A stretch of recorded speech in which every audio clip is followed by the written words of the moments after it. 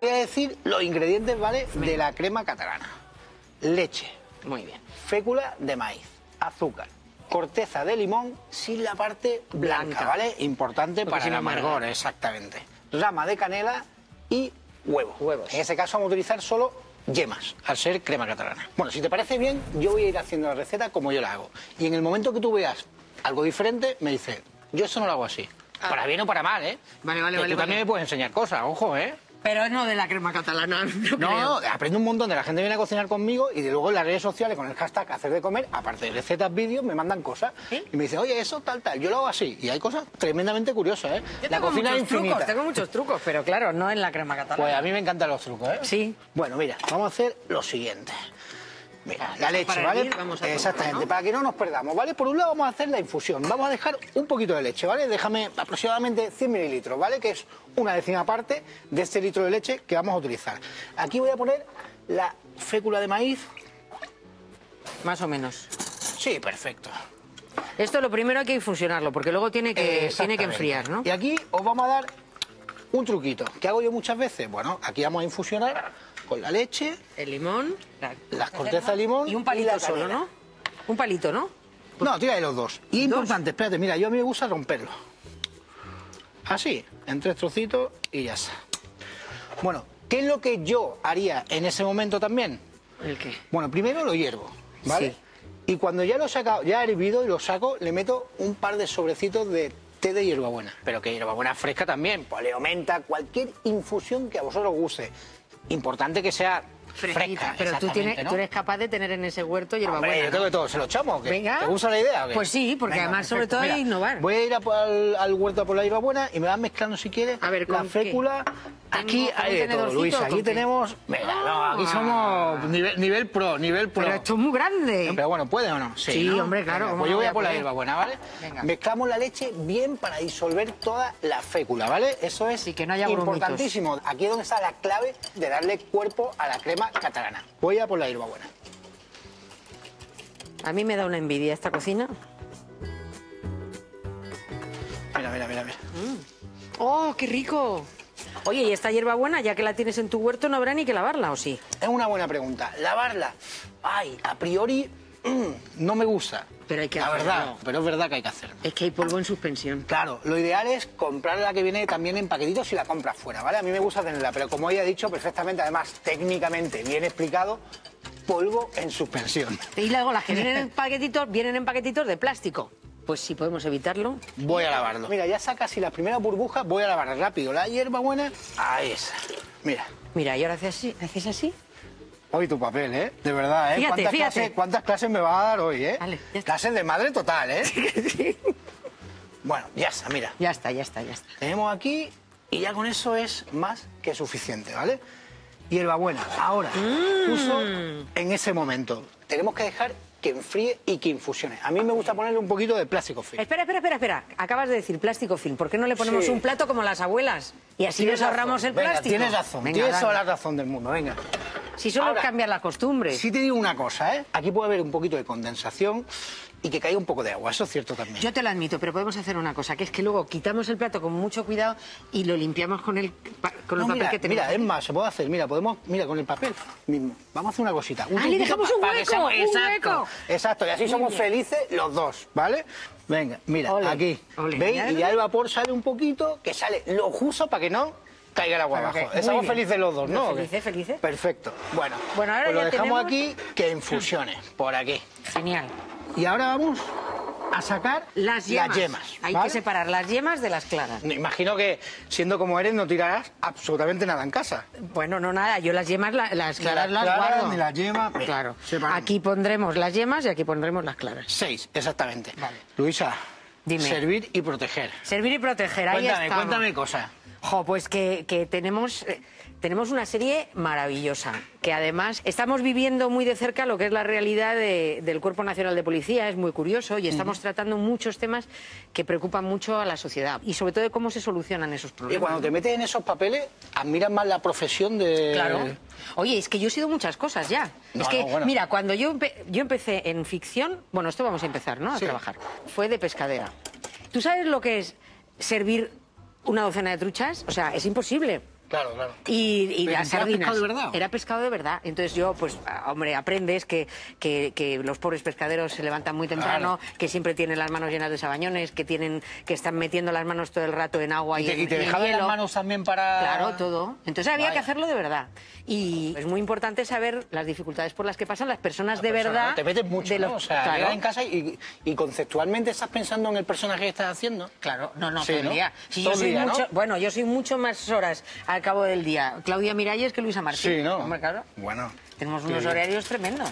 Echamos el azúcar en la yema, ¿vale? Y yo voy a ir emulsionando. El azúcar, que Ahí estos está. son 250 gramos de azúcar, que Luisa Martín pondría menos, yo pondría cin- 200.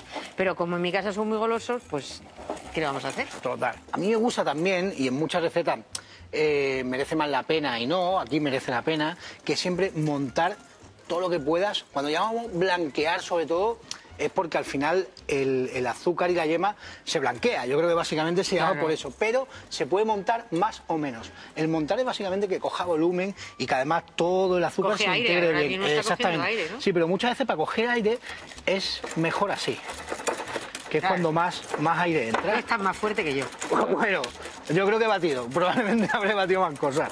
Ya, ya, ya. Uh, yo con esa... Es que, es que Ah, hay que ¿eh? hacerlo enérgicamente. Hay que hacerlo ahí enérgicamente. Entonces, de lo que- entre un poco de lo que aire. se trata es que coja aire ahora, ¿no? Exactamente, que coja un poco volumen. ¿Ves? Vale, vale, vale, vale, vale, vale. Poco a poco. Vamos a echarle ya, ¿vale? La leche con la fécula. Vale. Ahí. ¿Poquito a poco de Poquito a poco. Muy bien. Y esa mezcla hay que juntarla con la infusión. Mira, Escucha, queda por un ejemplo, restito, lo eh, movemos, exactamente, ¿no? mira, sí, sí, claro, porque todo eso, si no, no nos va a cuajar igual. Pues venga, lo Eso es una cosa que a lo mejor te puede pasar en el pozo, ¿o no? Lo estás atenta a esas Pues cosas. a lo mejor es eso. Infusión. La perfección es echarla fría, por una razón muy sencilla y es que no se cuajen las yemas de huevo. Ahora, yo le voy a echar ya templadita y lo único que hay que hacer es batir enérgicamente, ¿vale? ¿Tenemos que colar? Ah, está todo preparado, todo preparado. Ahí está, ¿me lo echas tú o te lo echo yo? ¿Cómo quieres? Y mira, aquí. vamos a levantarlo Vamos a un poquito. pues ya lo yo, Ah, si mira, ahí. Al centro. Mira, Ahí, tira ya sin miedo. Ya, se ha integrado, ya no va a pasar absolutamente nada. Porque el único pequeño peligro es que se nos cuajen las yemas, Yemas. de huevo, ¿vale? Y aquello acabe siendo casi un revueltillo, ¿no? Que haya cuajos, ¿no? ¿Eh? Ahí, perfecto. Volvemos a meterlo. Como en tiene la que ser, ollita. porque no hay que fregar tampoco muchos cacharros. Ahí está. Porque Ahí también el agua, el acuerdo, agua ¿eh? también es fundamental. Yo ahí, en eso soy bueno, ¿eh? En la cocina, ¿eh? Sí. Cuando estoy en casa. Cuando estoy en restaurantes que tengo mucha gente a mi Claro, no alrededor puedes y la verdad que ahí ya... Claro. También vamos a otra velocidad, ¿vale? Bueno, nos venimos aquí. Voy a separar Hombre, es el que huevo luego todo el aquí. mundo quiere que, que le sirvan en un restaurante rápido. Total. Mira, una cosa importante de la crema catalana, que es esa espumita. Esa espumita tampoco nos conviene mucho, ¿vale? Podemos hacer esto. Quemas la espuma. No quemo, va a desaparecer. Mira. Pero entonces... ¿Os ves cómo desaparece un poco la espuma? Ah, qué guay. Listo. ¿Que no tenéis soplete? Como se hacía antiguamente. Soplar.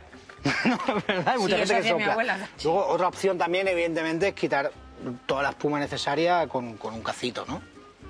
Pero bueno, el fuego ideal, temperatura media alta, sin parar de mover, ¿vale? Así que vamos a removiendo hasta que tengamos la textura idónea de crema catalana, que serán unos 5 minutos. Y vais a ir viendo además como poco a poco la espuma prá- prácticamente irá desapareciendo. Mira qué textura. Mmm, cremita, cremita. Ahí está. Muy bien. ¿Vale? Me coge el azuquita que tenemos aquí en la santería y bueno, voy a poner por aquí y yo ya voy a pasar a emplatar. En el lado siempre mojamos un poco y subimos. Y siempre se nos va a quedar ahí Ah, muy bien. el tiempo suficiente para pasarlo ahí. Ese puntito. Muy bien. Así. Ahí. Vaya pinta, ¿eh? Como Pues me gusta sí. que sea homogénea, brillante, sedosa, Sí, ¿no? Como- Sedosa, sin la espumita, claro. Ahí Esa- esa- ahí la está el, espumita ahí ya es el ha secreto. desaparecido totalmente. Perfecto. A ver, mira. Todavía incluso... Un poquito más Ahí se le puede está, poner, ¿no? Exacto. Voy a repartir ahora ya el resto. Yo ahora lo que hago ya es que le pongo el azúcar por encima. antes de enfriarla, Ah, antes de enfriarla haces eso. Eso es, sí. Pero no está muy caliente. Bueno, pero que, a igual hay que enfriarlo, ¿no? Dame. Estoy viendo yo ya por dónde me vienen a mí. No, pero bueno, yo, yo, yo, yo quiero que lo hagas, para que Sí. un poco lo, lo- lo veamos, un poco y veamos qué pasa, ¿vale? Yo creo que Vale. luego te voy a explicar qué puede pasar, ¿vale? Bueno, listo, ¿eh? Hay que aprovechar aquí hasta la última gota. Sí, sí, sí, sí. Espera, espera, espera, espera, espera, que esto también es ecología pura. ¿Cómo lo ves? Jo, Pues lo de la ¿Qué tal la hierba buena. Bien, ¿no? Es fresco, es fresco. Esto, esto te lo voy a copiar. Esa para ti y hazlo tú a tu manera. Una yo, cucharita. esa para mí que lo voy a hacer a la mía. Cucharita. Aquí hay de todo. Aquí hay de todo. Y la razón es porque en casa te dicen que quieren Azúcar. Es que no le que no, que no le has puesto tanta azúcar. Azúcar es menor, que, le no, echen no, más, no, ¿no? Vamos a dejarlo reposar una hora en la nevera. Vale. Y vamos a ver cómo queda la tuya y cómo quedan las mías. ¿Nos vamos allá?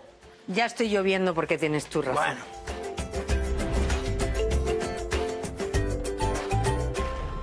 Después de una hora reposando, yo creo que está claro cuáles son las mías y cuál es la tuya. Pues yo hice dos. Y mira dónde ¿vale? está el látigo. Fusu, A ver, fusu. mira. Ya sé lo que pasa. La mía. Ya sé, ya sé. ya sé. La mía incluso la puedes mover un poquito, ¿vale?